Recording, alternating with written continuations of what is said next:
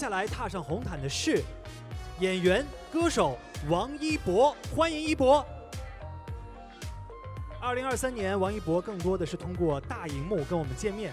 他在《无名》《长空之王》《热烈》中扮演了三个不同的角色，让观众看到了他挑战不同电影风格和不同角色。一博这边，一博这边，看到了一博挑战不同角色和不同影片的决心和努力。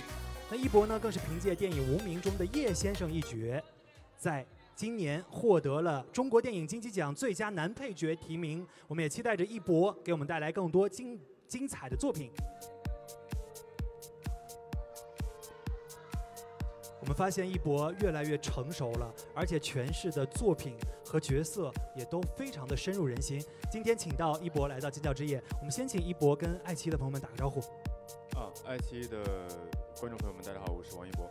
好多人都非常期待一博在爱奇艺跟大家见面，然后后面有没有什么工作计划可以跟我们小小的透露一下？